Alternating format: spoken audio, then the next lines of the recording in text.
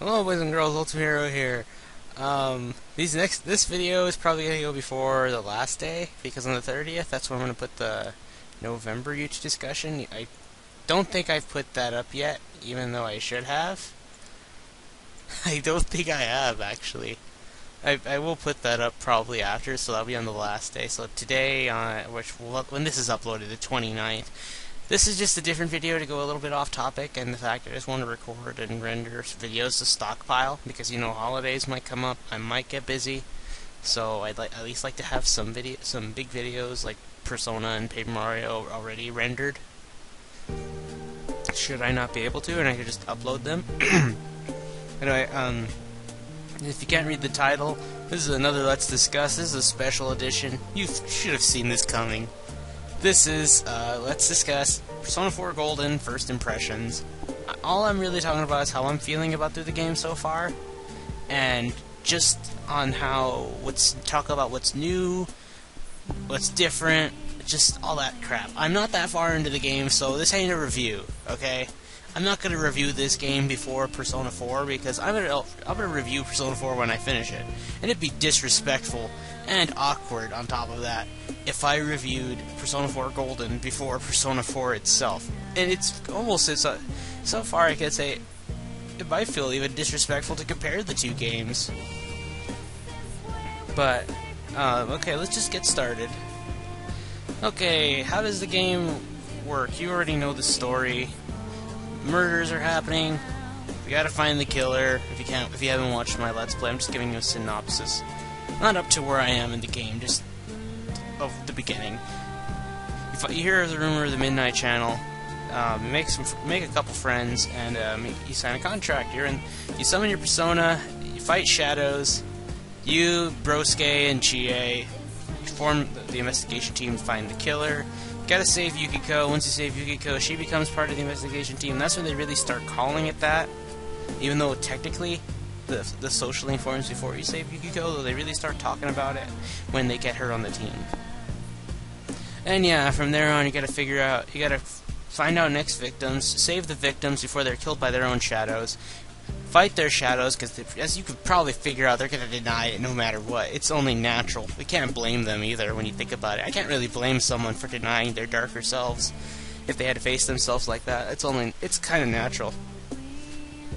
But Okay, now that we got the synopsis out of the way, one thing, if you played the game before and you want to skip through some scenes you don't like, or you just want to skip through to get to the new stuff, um, you can get straight into, you can just press start twice on your Vita, and then you'll automatically skim through the scenes. Which is a really cool, which is a really neat function, and I have taken advantage of it. Through the boring scenes, I will skip them.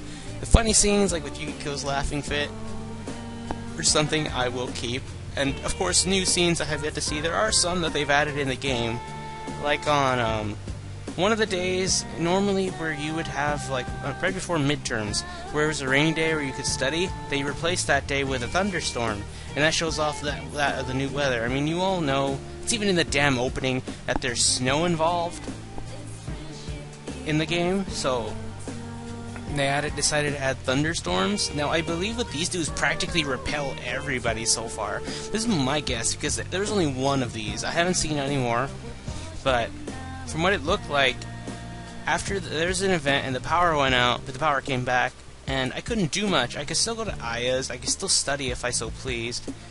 I think it has the same effects as rain, but I think it actually scares all the socialing people away. But it doesn't matter to me. There's only really one or two I can rank up with in rainy days, so it doesn't matter if I can or can't. But um, then you get like a little Mother's Day event with Nanako, which can help your stats too, um, if you if you if you make the right choice. But um, there's that. There's also um, eventually when you're trying to save kanji, you gotta you're gonna make or Nanako will offer you like the day you're supposed to first unlock Tanaka, it gets pushed on to another week. But however, Tanaka's changed to the point where if even if you miss Sunday, you can still watch on Monday and Tuesdays if you got the days off. So I think it. I, I'm not sure if it's going to be different because really I'll notice that when it's summer break. But either way, I'm looking forward to it. I want to buy a lot of his stuff. Um, Uh, other new things, the follow-up attacks are the same. However, the order has changed so far. From instead of it when you first establish a social link with an investigation team member, instead of them be like, Yos, you became friends with Yosuke. Yosuke went out, die for you. Uh, instead of that, he will just simply, um, he will wake up a knockdown ally. Which is helpful, but sometimes I wish they would just take a hit for me, which hasn't happened yet. But I have a feeling that might happen soon. It's pretty scary. I don't want it to happen. But, um, uh, uh, next up, there's also once you get Chie and Yukiko, you unlock their move Twin Dragons. That's that thing you see in the trailer, one of the trailers, where uh, they both summon their persona at the same time. Does this big old spell? It usually it happens after that you do an all-out attack and there's some enemies lingering. It's it's almost like extra damage for free. It doesn't take up any SP. They do it on their own, whether you want them to or not. They just do it and it does some good damage. It's pretty nice. So try to get some combinations of people and just see if it works. So it's a reason to keep Chie and Yukiko in a team. The other characters that can do this that we I know of, well, this is all of them. Yosuke and Teddy, so if you, you might want to keep those two together, and of course, um, Kanji and Naoto. It's really cool. I haven't seen the other two yet because I'm not that far in, but it's really nice. All our attack scenes are changed. I'm not sure if I'll put up text. I might just put up the Persona 4 Golden banner because this won't take too long. And um, there are videos of people doing it already, so feel free to watch them if you haven't, or if you want to, or you don't just don't want to be spoiled with the game. Feel free. Um, what else is new? The battle system also changed. You can now see if enemies resist some things. Like we got, a, let's say we have an enemy weak to, that's resistant to physical. It'll say resist. There'll be like a little black shield instead of just seeing the normal damage compared to the previous game. So that's really nice. At least you could easily tell what's strong against what it's weak to. Um, a lot of enemies have some of their weaknesses changed. Some no longer have weaknesses, which sucks ass. And then you got to, uh... Ah, and then, uh, what else, what else? now it slipped my mind. And then you got, you know the, the rare enemies? The rare enemies. You know how, let's, let's go to Persona 3 for a moment. You remember when you see those, you have to chase the fuck out of them, but once you see one of them, you just gotta hit him once and he's practically dead. Oh no, they got tired of that. Let's just say in between, they really worked their asses up, and now they practically resist everything except for physical attacks. And on top of that, the physical attacks don't do much anyway. So you pretty much have to get a critical hit and then just. Uh, this is as to my knowledge. I don't know if light or dark spells will work on them. Which, if they do, I'm gonna be using curse papers. I'm going. Somebody's gonna be making lots of trips to the bathroom. But um you gotta really work your ass for those. And they actually do some good damage, and they can summon enemies. They're almost like God. They could summon enemies if they so please. They can make Sukukaja to make you harder to hit them, so. And they can use spells and then just run off. They can just hit and run. But if you beat them, you gotta really work your ass, so guess what? You're gonna get really rewarded. You get so much experience and a lot of cash now. It is amazing. I was under leveled, but I ran into a few of them and kicked their asses. And um, you just you just wipe the floor with them, and there you go. You, you, I caught back up in no time. Because I fought Shadow Yukiko when I was like 13, going on 14, like level 13, about to go to level 14, and Yukiko was already 15, so I'm, we're all already 25, and she's 26, so technically I was under-leveled, even though Yukiko was on-level, so Yukiko was technically over-leveled, and we're just barely on level. Which is alright, because I love waifu, and let waifu level up if she so pleases. Also, um, some some character, or you know how it was like when you got a move, or not a move, a new thing, like, Yosuke will now die for you. Um, then you got the pickup of part, a knockdown partner, like in 1, 3, 5, and 7 and 9. Now on the even numbers, 2, 4, 6, 8. So it looks like you unlock a new skill because I got uh, Yosuke to uh, level to rank 2 in a social link. I just ranked him up the first time. And he learned Malka which inflicts silence on one enemy. Which that has helped me a good amount of times, so I haven't got rid of it yet, though I prefer Tentarafoo. But um, here's something they kept, which this is a little pro tip, uh, especially if you bring in Yosuke. When you find enemies that don't have weaknesses, they are more prone to status ailments. I guess that's to kind of make it fair. But take advantage of it. Take full advantage of it. Remember those Maguses in Kanji's dungeon? Remember how I said use Tentarafoo? Use those, and if there's just one of them, even one's a pain enough in the ass, you could just use Maka Gem and silence them. They can't do spells, and they'll still try to do spells, so they're wasting their turns doing nothing. So, what? Oh yeah, and the shadows, they can notice you from so far. Like if they barely appear on screen and they're looking right at you, they will notice you. But if they're like, if you're like, they're like to the side of you, you could easily turn around and they when they notice you, they just make this big old jump in the air, which is so slow you can easily get behind them right on time. So if you're behind them, you're pretty much gonna get the all-out attack unless you miss your your strike on them, which I hope not. It's happened to me a couple times, and I'm pretty sure it's happened to everybody. But the battle theme is, of course, the common one is uh, time to make history. But if you get an advantage hit, if you get the advantage, you'll hear "Reach Out to the Truth," which I've been hearing. I've heard that way more than "Time to Make History." And of course, they do play the in mini. Now they make. You know how, and during a mini boss fight, you had a. Uh, you had a different version of Reach Out to the Truth. Now, because of all these diverse songs, it now feels like a mini boss song, which I like. Is like, ah, yeah. I, I personally like the mini boss or first battle, as they call it. I call it the mini boss version because that's when you always hear it. Then, of course, the first time you ever fight Shadows. I like that theme more than the regular Reach Out to the Truth, where it just begins with the chorus. I don't like that. I prefer the one where it has the guitar going dun dun dun dun dun dun dun dun. I like that version more. Just the guitar opening up, and I like that.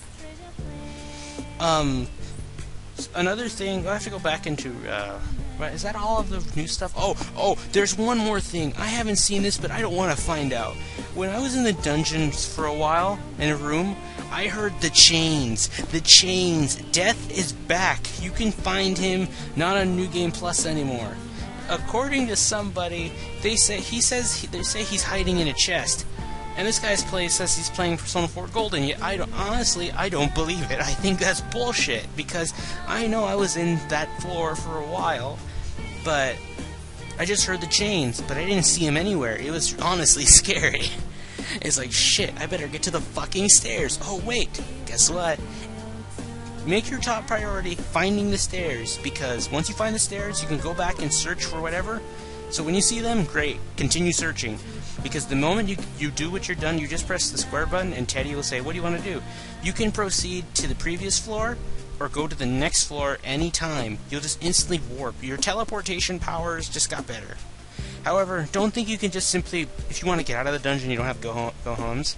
You can't just simply go to the previous floor, previous floor, because now they made the game more mystery dungeon-like, and you're just going to be going down. If you go down, the whole room completely changes. That or your map just disappears.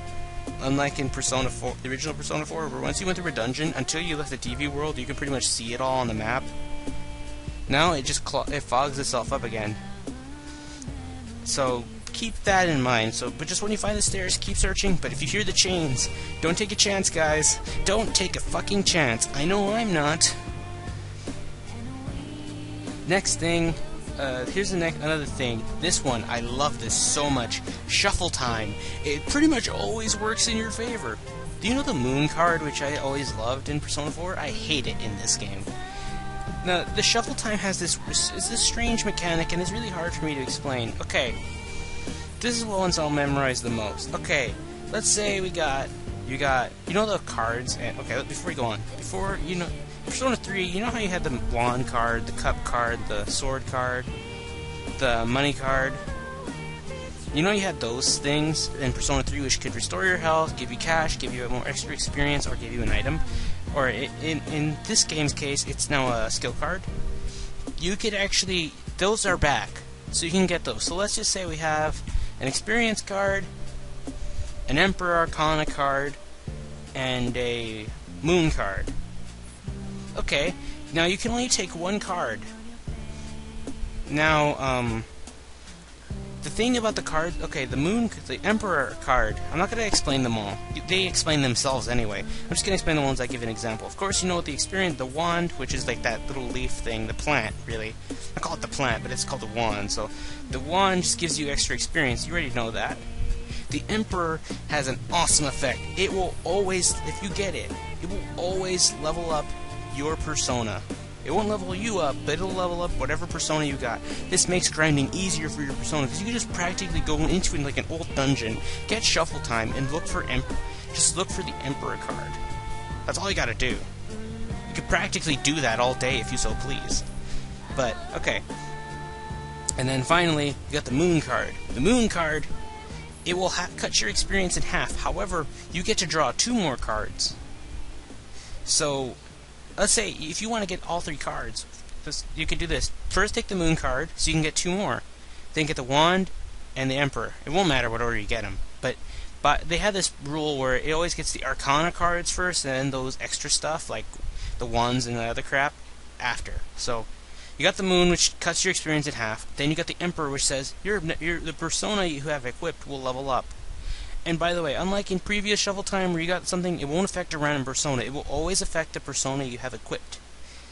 And then you got experience. The experience will just give you the uh, just give you the extra, but in this case, it'll just like give you a little bit, so it, you didn't lose exactly half. You gained a little bit back. But if you get all, all the cards that were put out there in one go, you get a shuffle sweep. What this will do is it's kind of like a chain reaction. It's like a lucky or a bingo. Once you get one, you, you can go on the streak if you can, because the next battle you win, and if you fight, if you complete it, and if you win the next fight you go in, you always get a shuffle time. And then on top of that, you get extra two picks. You can pick two extra cards. So let's say we got the Emperor, the Wand, the the Cash. Now, if that was the case, we could just pick all three and we get another shuffle sweep. Okay. Now let's say we got the Cup, the ca like cash and you got the priestess card and a persona. Okay, now we got we got three points again, but we can't get all three. The priestess has another effect. The priestess will give you one more, but it'll turn a, a persona card into an arcana. Usually that's how it works. If not, it'll just get a random non-persona card if you can. So, okay, the persona turned into... Let's say it turned into... Uh, a sword. Okay, then you can pick up the rest of three another shuffle sweep, and you keep building up more and more until you can't get on anymore. And it's really cool because you can go on this hot streak. I remember I got like my highest I've got was like eight in a row, and I was so happy by that. And on top of that, if you can get that streak going while you fight a rare shadow and you beat it, and imagine if there's the wand or experience out there, hell yeah. You're you're going places, man. You're going. I was like practically out of money when I, I, used all my money to, to get get SP so I can continue going through Kanji's dungeon because of Fox. He's in a pissed off mood. Thank you, Fox. But after that, after going through the dungeon and all that with that hot streak, I had fit, nearly 50,000 yen. I was so happy. But Okay, that's enough of the RPG stuff. The rest, there's probably more. The only one I know of, aside from that, which I have yet to experience, was that Visay can help you in all out attacks. But you you'll find the rest out on your own. That's all I know. I'm pretty sure there's new functions and mechanics as well that I have yet to see. But okay, next, just go on to the bit of what's left in the social world. You can sneak out at night, and there's a couple new jobs. I know one that, here's one that I like, the, the bar. You can work at the bar, which will increase your diligence. And you could, if there's like a bunch of people, go work on. You can work on any day, any day you want. You check if there is any. Uh, check if there's four people. If there's four people, feel free to work that day because you'll get a. You'll get a bonus and. I know, okay, there are four people, but I don't know. I only know the first two people increase stats. The old man will get, raise your courage, and the intelligent man will increase your knowledge. I don't know what the other two do. I'm assuming one's understanding and another is a uh, expression, though I don't want to take a chance. I'm fine with those two. I'll, I'll raise expression and understanding through other ways. But it's pretty cool. And then last but not least, there's of course the scooter, though I've yet to experience it, so yeah, you find that out yourself. I do know you can go into the city with that thing, but that's all I've seen. That was in a trailer, that's how I know about it. But um, last thing, gardening you can do gardening, it'll increase your diligence. So now there's plenty of ways to increase diligence because the majority way was just going through soccer club and that was it. The only other thing would be envelopes and nobody really wanted to do those after you got like a bunch of social links and all that crap. So yeah. it's better to do that. And you can get some nice stuff. So far, I've gotten some SP restoration items, which are tomatoes. They just have these other names, but they have effects you can use in the dungeon. I have one that's kind of, I think one that kind of reacts like a go home, which is really nice, and I like that. So you get to make your own items. Oh, yes, you can go into the, the Shiroku store and you could buy the firecracker, the pinwheel, the ice cube, and the ball lightning now. I'm pretty sure you can buy their multi-targeting uh, partners, or alter ego, whatever.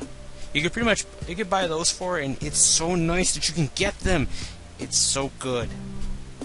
I haven't really used them that much, but I like to have them just in case, because you know, there's especially later on in the game, you're just like, I need to get a one more, or else this is not going to end well. So yeah, you just use the items. But aside from that, the game is very different. Last things I'll mention, they have this. They can show you some of the. Uh, they have this little TV thing where you can actually um, you can see, you can listen to music, you can listen to the soundtrack of the game, which is really cool, and I like that. On one channel, another channel, you get to see a couple of live performances on the Persona Music Show or live show. This is their concerts they do every year. Another one, they have some trailers from. I'm pretty sure they're going to do the openings of each game too. They play some of the trailers for the game for the, all the Persona games: Persona 3, FES, Portable, 4 and Persona 1 on the PSP. I haven't seen the Persona 2 yet, though. I, I, think by the time I think they just barely announced it, but when Golden was coming out. So anyway, the other thing I th- I like this. If you want to actually know about personas and shadows, where they come from, like where they're based off of, you can study the Carl Jung mythology from. You know, you're the Edogawa from Persona 3, the the nurse. You can actually you actually get to watch a show where he just he talks. It's a long lecture and it doesn't benefit you, but it's in case you want to learn about uh, shadows and uh, personas. And let me tell you, my mind has already been blown a couple of times for that. It's like you see, you're conscious, you think there's a lot to your mind that when you're awake, but your unconscious is so deep. It's it's just crazy. Just take a listen, read for yourself. It's nice to read when you're just like you don't want to play the game for a bit. You just want to in case you just want to take a little break and read some something interesting to keep you keep the while away the time. But it's really cool. Okay, I think I've kept you guys long enough. I think that's really all I need to say anyway. There's a couple new events. Well, there's much more new events, but I've yet to get to them, so I'll let you guys find those out for yourself. This is a freaking first impressions video, not a damn review. I will review Persona 4 before Golden, but I would like to review Golden. But I think they're both great games so far. Uh, so far, Persona 4 Golden is amazing, and it's it's kept me hooked. So, yeah, so far my Vita is proving its worth. I've yet to play the Black Ops game because I don't care about Black Ops. At least the Vita version. I'd like to try out Black Ops 2 on like Xbox or something, or even Wii U. Anyway, hope you all liked the video. Any questions? If I can answer them, I'll tell you. If not, sorry. But as of, if you think you want to get a Vita, hell yeah, get it for this game. If you want Persona 4, you haven't got Persona 4, but you want to play it, you may as well just get the Vita version if you don't have a PS2. Just get a PlayStation Vita, you can get this, and you can get Persona 3 Portable, Persona 1, and Persona 2 all on your Vita, which will kick ass. I have yet to do that, but I intend to do that one day. Especially Persona 3 Portable, but I would like to try out the first two Persona games. But yeah, so far it's proving me it's worth, though I just want more than one game. So maybe I'll try a Little Big Planet or something, but yeah, anyway. I hope you all enjoy the video. Feel free to comment, especially if you guys are playing along, tell me. I'd like to know where you're at so far. I just got it yesterday, so I'm already past Kanji, which that's crazy. I'm, I'm guessing by tomorrow I'll be done with Shadow Rise and Teddy. It's like, oh god. Anyway, um, I hope you all enjoy the video, yeah. Hopefully some of you guys will play the game too. And yeah, till next video, stay gold.